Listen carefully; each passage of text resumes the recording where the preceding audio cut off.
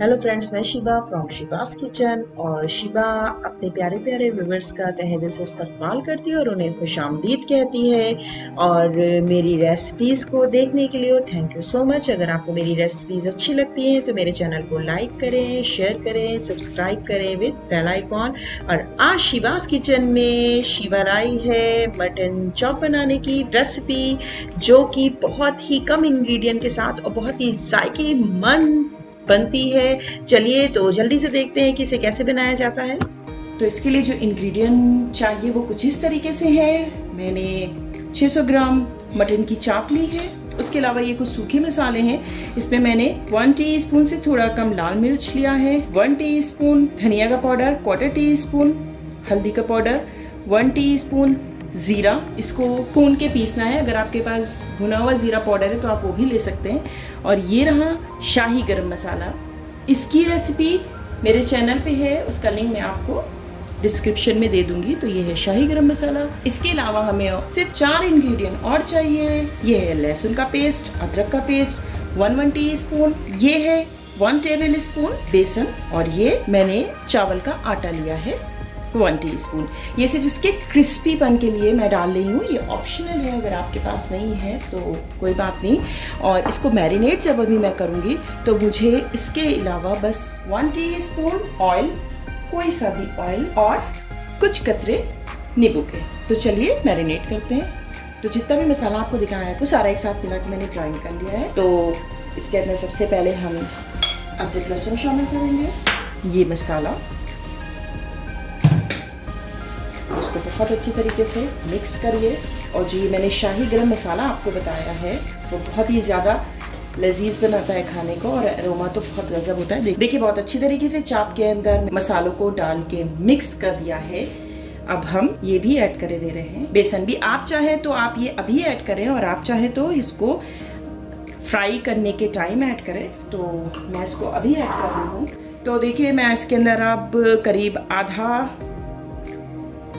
नींबू का रस शामिल कर दूँगी। और हाँ मैंने इसके अंदर नमक नहीं बताया है हसबे जायका नमक है। मैंने अभी इस मसाले में नमक को भी शामिल कर लिया था।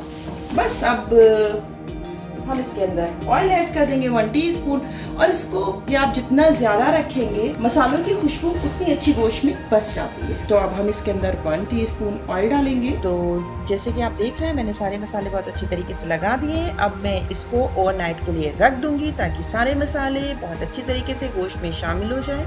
और उसी के साथ ही साथ दूसरा फ़ायदा ये होता है कि गोश्त भी बहुत अच्छी तरीके से टेंडर हो जाता है।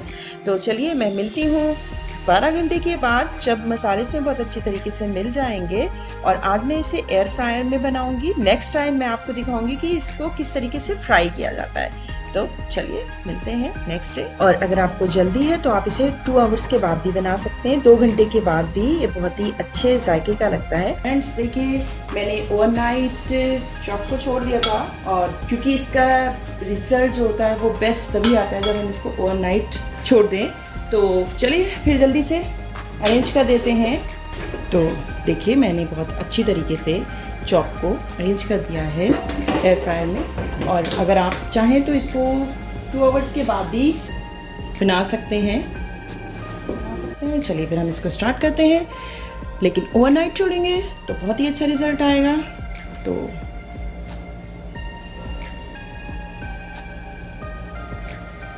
तो फिर फाइव मिनट के बाद इसको स्टॉप करके इसके ऊपर स्प्रे करेंगे बटर का या ऑयल का। चलिए फिर फाइव मिनट इसे पकने देते हैं, उसके बाद इस पर स्प्रे करते हैं। तो देखिए फाइव मिनट कंप्लीट हो चुके हैं। तो अब हम इसके ऊपर एक बार ऑयल या बटर की ग्रेसिंग करेंगे या स्प्रे करेंगे। एज यू विश जो आप चाहें, बहुत ज़्यादा नहीं, बहुत थोड़ा सा। और इसके बाद हम इसको फिर से स्टार्ट कर देंगे। तो फ्रेंड्स देखिए फाइव मिनट और हो चुके हैं। अब अब हम इसको बस पलट देंगे। वैसे तो पलटने की ज़रूरत नहीं होती है, लेकिन फिर भी मैं एक बार इसको ज़रूर स्विच कर देती हूँ। क्योंकि हम चाप बना रहे हैं, अक्सर होता चाप में ये है कि वो कच्ची रह जाती है। तो इसमें ये कच्ची नहीं रह जाएँगी। तो वो दोनों साइड से बहुत अच्छी तरीके से क्रिस्पी हो जाती हैं।